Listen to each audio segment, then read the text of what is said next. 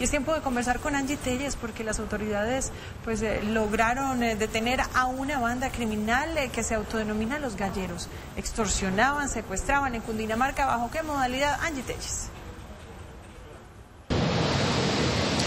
Así es, muy buenos días. Se trata de la captura de los integrantes conocidos en el mundo criminal como alias Gallero, alias Montaña, alias Will y alias El Gordo. Estas personas se hacían pasar por grupos armados para secuestrar y extorsionar a conductores en Cundinamarca. Básicamente les ofrecían falsos trabajos en zonas rurales del departamento y una vez llegaban a los puntos acordados, los amordazaban y pedían millonarios rescates. Asimismo, le robaban los vehículos en los cuales se movilizaban.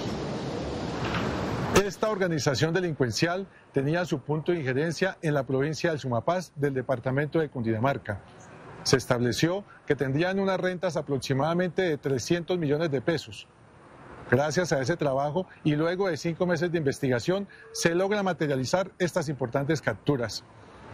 Estas capturas están vinculadas a tres más que se hicieron en el mes de mayo en jurisdicción del municipio de Fusagasugá, en la vereda La Guadita, cuando tres delincuentes fueron sorprendidos en flagrancia cometiendo una extorsión en contra de unos ciudadanos que habían acudido al sector rural producto de un engaño para construir unas viviendas rurales.